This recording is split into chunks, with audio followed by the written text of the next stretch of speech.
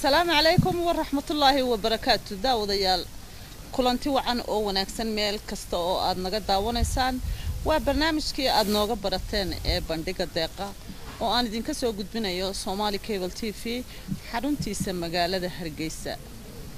Daawadayaal barnaamijkan oo aad uga barateen suugaan arrimo bulsho iyo barnaamijyo kala gaar ah maanta waxa aad iga filayseen baan filayaa marka aad muuqayga aragtaan ama aad bandhigaba maqashaan.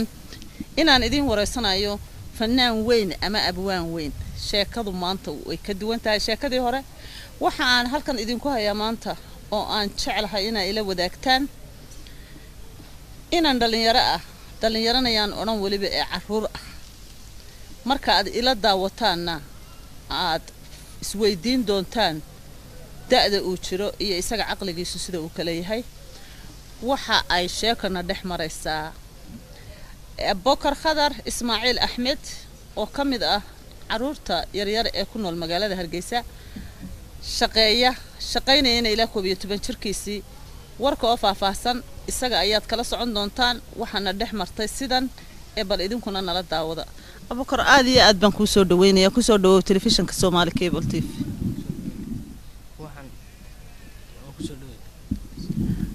abakor waxa aad tahay afar iyo toban jir. Sida aad ii sheegtay. Waxa aad ka mid tahay dhallinyarada ka shaqaysata magaaladan hargeysa ee muruqmaalka ah shaqadii ugu horreysay aad qabatay. Imise jir baad ahayd markaad qabatay maxayse ahayd? Waxaan ahaa toban jir. Waxaan ku bilaabay gaadhi maarkatuuya markii hore aan maarkatuuga ku bilaabay waan shaqaystay inta shaqaystay lacagteydii way ii biirtay. Markay ii biirtay lacagteydii meel baa dhigtay. Markii dambe kabacdii lacagtii way urursantay gaadhi baan ka iibsaday. Iminka wax iga dhimanba haba yaraatee ma jiro. Insha allah imika waxaan rajaynayaa inaan wax badan iyo horumar aan gaadho. Insha allah laakiin waan gaari doonaa. Markaa assalaamu calaykum waxaad ii sheegtay inaad adigoo koob iyo toban jira aad bilowday shaqada dareewalnimada marka la eego maarkatu gaadhiga la yidhahdaana waa gaadhi aada u weyn. Yaa ku siiyey tababarka aad ugu badheedhay gaadhiga intaa leeg. Maxaase kugu kalifay adigoo koob iyo toban jira? Ina aad dareewal noqoto oo aad maaragtay mas'uuliyadda intaa leeg qaado mas'uuliyad weyn weeyaan dareewalnimadu oo dee nin adag oo weynunbaa ka bixi kara si adiga kuugu fududaatay. Waxay ku kalifay lacagtii markaad aan arkay inaan waxba haysan oo dee waxbarashadiina aan bartay oo maalmahaana odagu yar xanuunsaday ayaan haa ayaan markii dambe maarkatugii iyo wixii aan waday xoogay markii dambe gaadhigii waan bartay waa ligu aaminay kabacdi markaan ligu aaminay xaggaana waan ka shaqayn jiray kabacdi dee lacag buu odagii iska helay wuu iska shaqaystay. Markii dambe gaadhi kale lacagtii halkaasaan ka qaadan jiray konta kun lacagtii waan ururin jiray markii dambe kuuliga dhanna waan ka geli jiray marna waan ka shaqaysan jiray markii dambe lacagtii markay ii biirtay gaadhigaa ka iibsaday. Ayaan imika insha allah dee gaadhigaana wax kheyr qabo unbaa dee iga soo gala wax fiican. Waxay waxay wax fiican wey n baabuurta.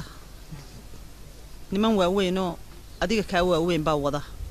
Qofka ugu yaray waa labaatan jir lix iyo toban jir wax noocaas yaa ku baray ee markii ugu horreysay adiga kugu yidhi dareewal baad noqon kartaa ee gaadhigan dhaqaaji aabo ayaa igu idhahday waad kaxayn karaysaa ee kaxee. Markii dambe kabacdi markaan kaxeeyey ayaan arkay inaa iska adigu fudud yahay. Markii dambe markaan arkay dee inaan caadi u bartay. Ayaan markii dambe aabasaan ula caawinayey oo la caawinayay ayaan ayaan dee kula waday. Markii dambe aan dee lacagta xaggaana aan dee ka wadan jiray halkana aan aan ka caawin jiray. Oo dhan walba wax ka eegan jiro dee adigu qiyaastii lacaga dhan aan iska ururin jiro dee wixii isoo gala igu filan wax igu filan ayaan habeen walba iskala seexan jiray. Maasha allah. markaa kabacdi waxaan doonayay anugu inaan macalaa xaas ka noqdo waxayga iyo lacagtaydii aan doonayaan. Siga guur haa lacagtii reerkii dabaray daawadayaal abokor wuxuu ii sheegay markii uu gaadhigii bartay ee uu reerkii aabihii oo xanuunsanaya uu daberay in uu baabuur iibsaday uu isagu iskii u leeyahay kuna shaqaysta hadda isagoo afar iyo toban sano jira. Waxa uu damacsan yahay abakor inuu sii shaqeeyo da-danuu iminka marayo ee afar iyo toban jirkaana uu guri yeesho oo guursado oo reer noqdo bal abakor oo nooga warramayaana wuxuu yidhi sida tan. Waxaan iigu ra- warramayaa inaan dee lacag markaan arkay igu filan oo dee aan arko wax walba inaan iska haysto oo lacagtidaas igu filan tahay ee dhan dee xaafaddii ay iska biishan tahay wixii ay igu filnaanaan iska haysto kabacdi waxaan isidhi dee yararka xaggana waxbaad ka wadan karaysa xaggana waxbaad ka wadan karaysa kabacdi markaan lacagtii aan dee markaa dambe gaadhigii adigu markaan isidhi dee lacag kugu filan waad haysataa deena iskana guurso yararkaaguna sida dee walaalkaayoo kale ah ula socdaan taa guurka waynuu soo noqon doonaa tii darawalnimada. Maxaa dhibaataya kaala kulmay? Ileen inan yar baa tahay afar iyo toban jir ah. Taraafik ayaa jidadka taagan.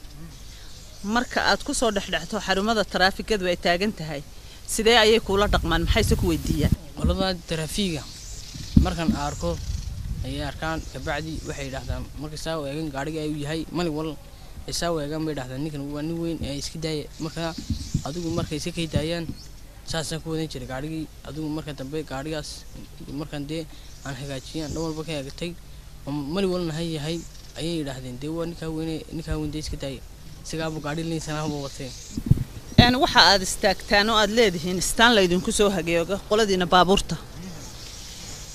Marka la arko dee abakoroo yar oo aan la ogeyn gaadhiga maanuwalka inuu wato oo mas'uuliyaddiisana aan la aqoonin. Dee dad baa baqanaya oo is odhanaya yari dee accident buu idinla geli doonaa. Maxaad ka dareentaa dadkaas macaamiisha ah idinku yimaada xarunta? Ma dadka macaamiisha dee macaamiishaydaas way iska fara badanaysay laakiin wixii cid inay garanaysa. Mooyaane dee aanu cid kale ma qaado dee ciddaa ku garanaysa oo dee ku foojignaado haddii aanu waxaan garanayn iskuma wadaya inaan qaado oo dee qofka uu mas'uul yahay dee qofka dee wax dhaqan xun wata iyo dee waan iska ilaaliyo. Habeenkii kabacdi markay gaadho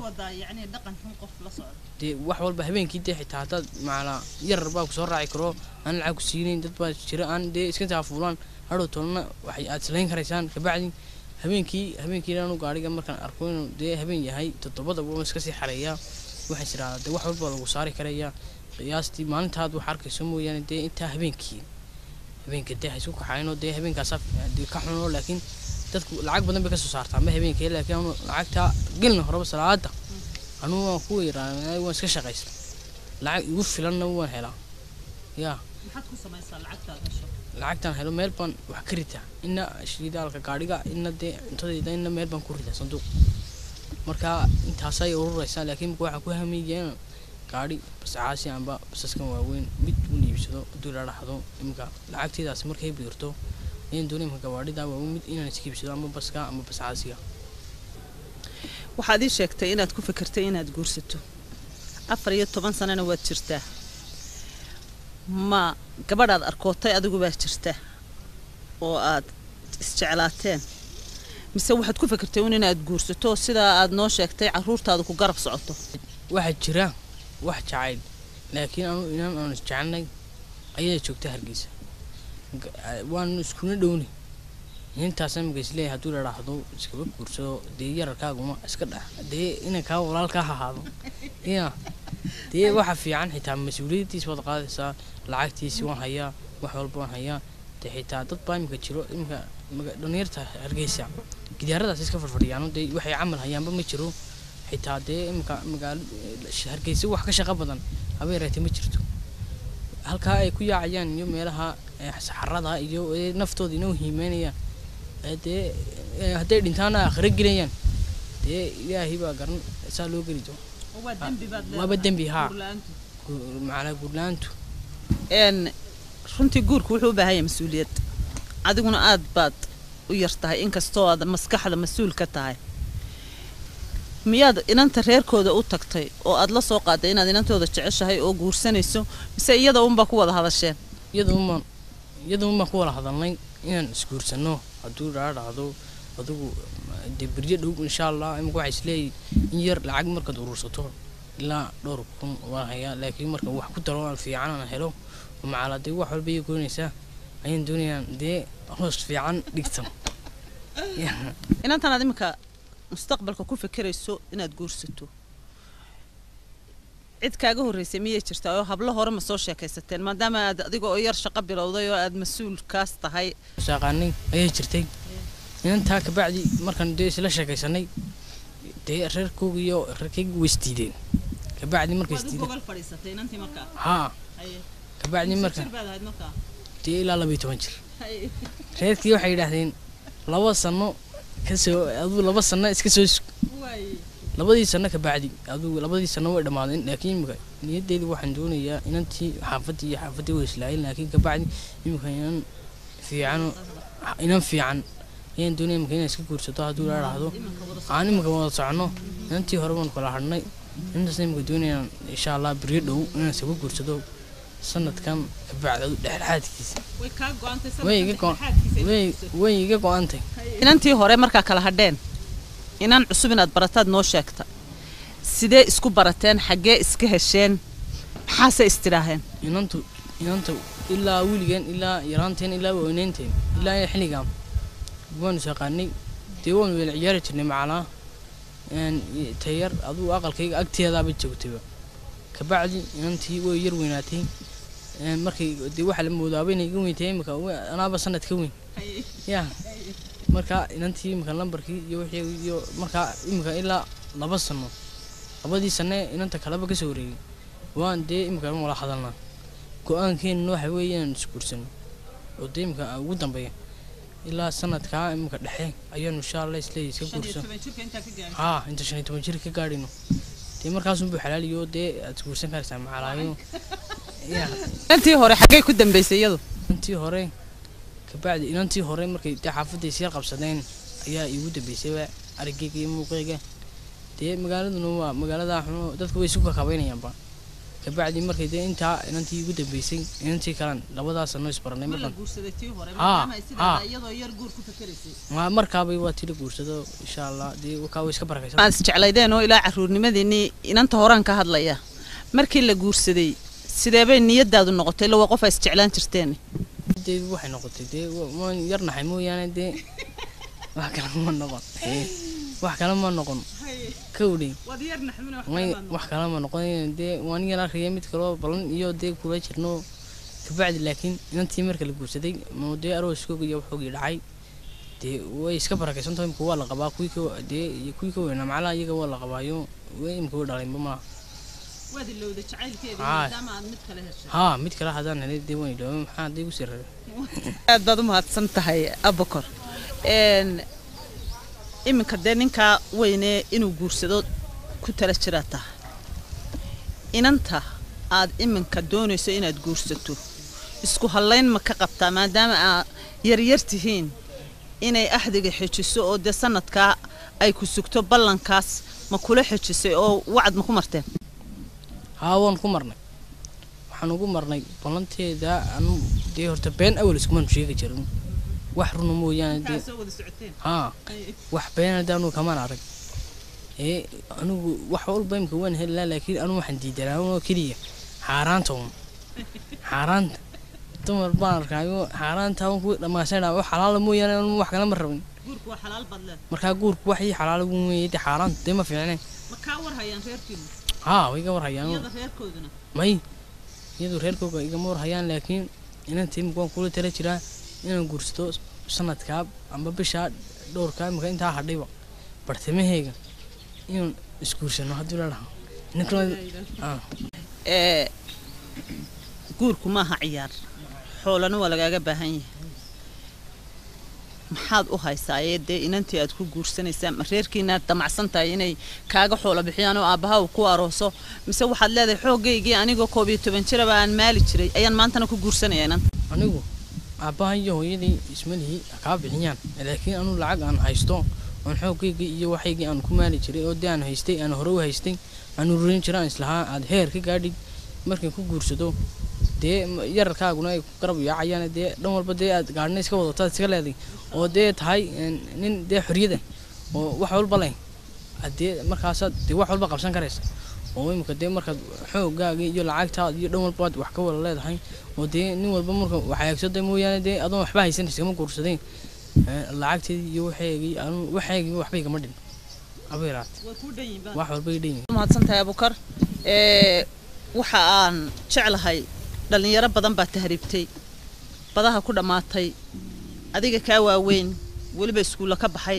Shaqaysan kara kaa xoog waaweyn. Kuwa maxaad leedahay? Barnaamijkeennii oo gabagaba. ah kuwa waxaan leeyahay iyagu si ay kolba isleeyihiin kuwii jaamacadda ka soo baxay horta waxaabay ka sugayaan askartii iyo dowladdii bay wax ka sugayaan isleeyihiin dee heer waxani siiyaan oo dee iyagana aad wax la qabatid yowdhe dadkaasina dee askariga weligaana iskuma hadlayo dadna iskuma hadlaya naftaada mooyaane dee wax kale mooyaane adoo lacag haysto oo urursada oo shaqaysta dee hergeysana yurub taa ay ku yaacayaan habeeraatee wax yaallaa ma jiro waxa yaallown dee waa waa lagu guumaysanaya. Waxaan kula talinayaa inay shaqaystaan ay dalkoogan hooyo ay ka shaqaystaan. Dee dadkoogana markaa dee markay shaqaystaan wax soo taraan. Dee waa tanoo haddaad tahriibtidna oo dhimatana baddaasina iyo saxaraha iyo waxaan dadkiiba ku marteen dhallinyartana waxaan kula talinayaa inay dhulkooga aaminaan oo ay ka shaqaystaan dalkoogan hooyo. Dadkiini dad baa u soo dhintay halkan calankeena markaa inaan la ilaashado laga shaqaysta mooyaane dalkaa kale waxba kaama yaalaan. Waa guumaysiunbaa kaa yaaliyo lagugugujiyo markaa waxaan ku leeyahay dalkiina hooya ka shaqaysta. Aad baad u mahadsan tahay abuukar khadar ismaaciil axmed oo ka mid ah dhallinyarta soo koraysa ee waddankani somalilan oo halkan maanta waraysi dhexalgala nagu siiyey. Insha allah waxaan rajaynayaa inaan abukar arooskiisana ka qayb geli doono oo uu barnaamijku sidaa inoogu sii socon doono ilaa inta carruurta uu ku hamiyayo haddii aanu gaadhno ee uu leeyahay iyagoo ilaa leeghay garab socdaan. Ilaa arooskiisa ilaa caruurtiisa aanu insha allah idiin soo gudbin doono. Aad iyo aad baad u mahadsan tahay abukar waan kaaga mahad celinaya barnaamijka quruxda badan. Yaal barnaamijkeenii intaas ayuu inoogu dhan yahay